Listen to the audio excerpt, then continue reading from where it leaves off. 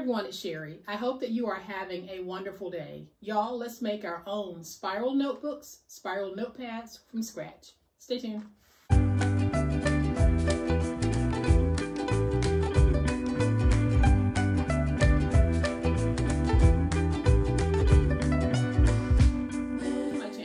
So glad that you decided to stop by because today is going to be a good one. Welcome to all of my new subscribers and to all of my new friends. Welcome back to all of my longtime subscribers and longtime friends. Y'all, today we are going to make our own spiral notebooks or spiral notepads, spiral whatever it is you want it to be.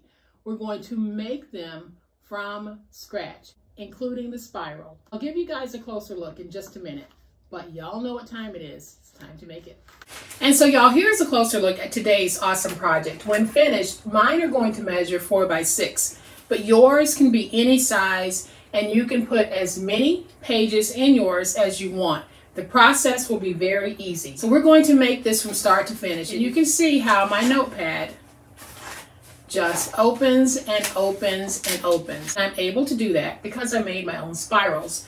Same with this one. So I have two here. I'm going to make the third with you guys. Here is what we're going to need to make it. So I have 12 pieces of 4 by 6 scrapbook paper that I have cut.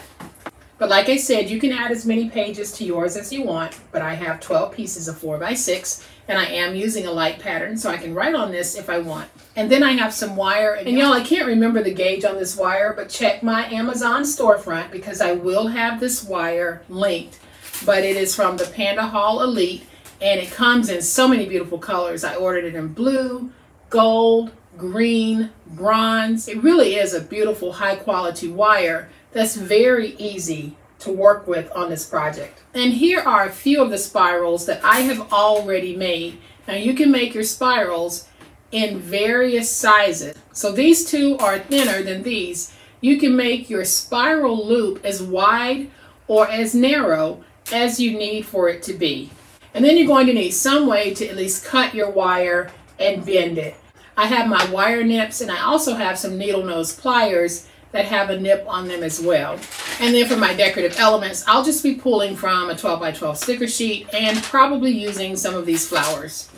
And then you're going to need some way to punch a hole. I'm going to use my Crop-A-Dile handheld. Your Crop-A-Dile Big Bite will work well for this. Or if you have just a standard hole punch that will only punch through one or two pages at a time, that'll work as well. I like the Crop-A-Dile products because I'll be able to punch through all 12 of these sheets at the same time. So I am going to bring in just a couple of clips. I want to keep everything nice and straight. So I'm going to zoom in on this just to make sure that you're able to fully see what it is I'm about to do. So y'all, I have my ruler and I have a pencil. I turned off my overhead light because it was reflecting on the ruler. I'll turn it back on in just a minute. But what we're going to do is line up the ruler with the edge of the paper and then we're going to make a mark at one eighth of an inch. And you can see how I made that mark. I made the mark so that it was pretty long. Then I'm going to move over the ruler to that mark. And then I'm going to make a mark every one quarter of an inch.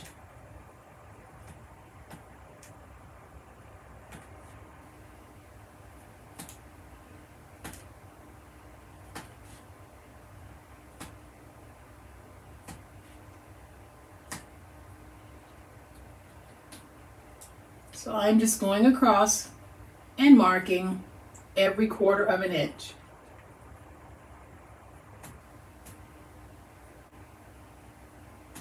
All right, so hopefully you can see my marks going all the way across. That's the guide that I'm going to need when I'm punching. So I'm going to be using my Crop-A-Dile set on the 1 8 inch setting. What I like about this Crop-A-Dile, there's a screw that allows you to adjust the depth. So I have unscrewed this and moved it all the way to the front as far as it will go. That's how deep I want my holes to punch. So I'll show you what I mean.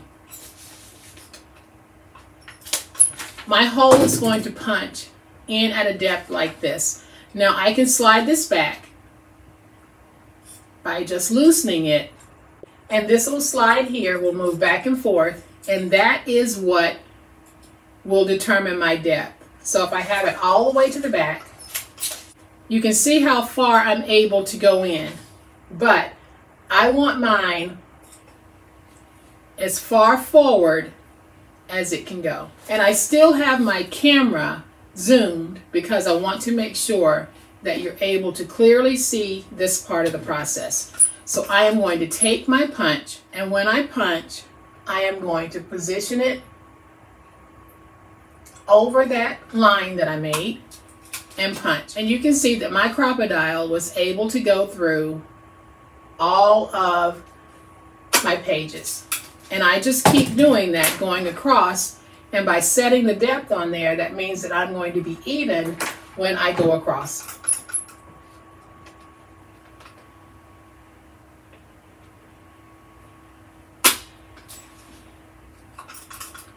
So when I'm punching, I'm actually making sure, I don't know if you can see that or not, I'm actually making sure that the line falls in the center of my hole, and that's my guide for punching. So let's just go ahead and do all of these, following the same process. And we're going to punch our last two. And so now I have all of my holes punched. I'm going to scoop this up if you want to start a confetti mix collection, you certainly can by saving all of these. So now I can just remove my clips. I'm going to take my pencil and erase those marks. And so now I have 16 holes going across the top. I am going to bring in my wire and I'm just going to take off an amount and then I'm just going to knit. So what I have here is a piece that is about 32 inches long. Now you're going to need a long piece because we are coiling and we're going to have tighter coils. And I might not need all of it, but it's better to cut it too long and coil it and have more than you need than to cut it too short, coil, and start realizing that you have run out of coil and you don't have what you need. So to coil, you can use a variety of things. I'm actually going to use the pencil because I want my coil to be this size. But this is a little bit thicker, so it will give you a thicker coil if you wrap. Or you can wrap around something this thick. The size of what you're using to wrap will determine the size of your coil. So I want my coil to be like this. So the first thing I'm going to do is I'm just going to twist it a little bit to get my curl started. And then I'm just going to take it and I'll start turning my pencil to coil my wire. And I know that I need at least 16 loops on this coil. And I'm just going to go ahead and scrunch that up just a little bit. We can fix it in a minute. And you just keep twirling.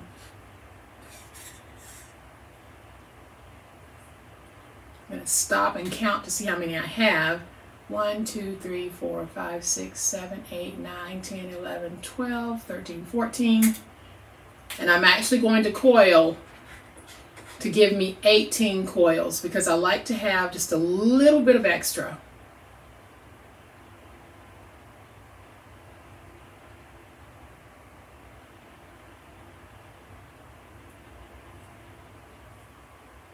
And now that I have my coils, I'm going to scrunch it up a little bit more because I can stretch this out once we get ready to use it. So then I'm going to use my nips and when I cut, I'm going to cut so that I already have a curl going. And now I'll just stretch this out just a little bit. We can stretch it even when we're making the book if we need to. So I'm just pulling this out a little bit.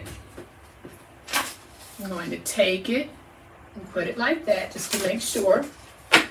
So now I can take my coil and we're going to start here on the end and all we're going to do is just twirl it to bring it through each one of our holes. And it really is as simple as what I'm doing right here.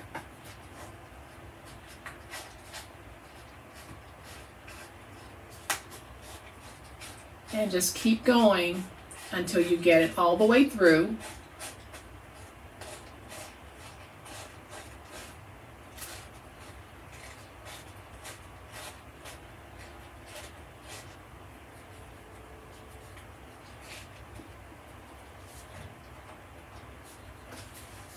And there I have my coils through.